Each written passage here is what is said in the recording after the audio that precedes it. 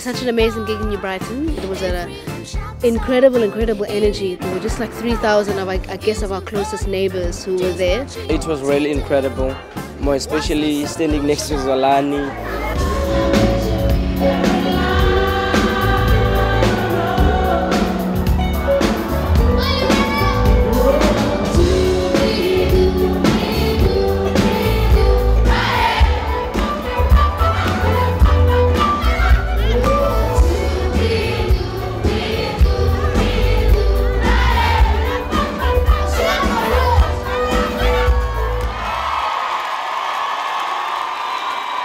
I want to thank uh, Nedbank. I want to thank First Ground for giving me this opportunity. It was flipping awesome, especially because it's a home crowd. Everybody came out. It was it was awesome. We are testimony to what our dad brought us up to, the values that he brought us up to. I don't know how to describe the feeling that I have. I'm elated.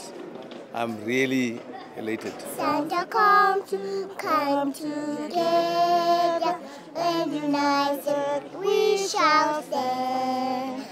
Let us live and strive for freedom in South Africa.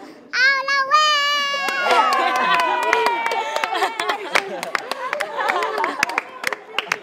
That's my daughter. so yes, the musical background.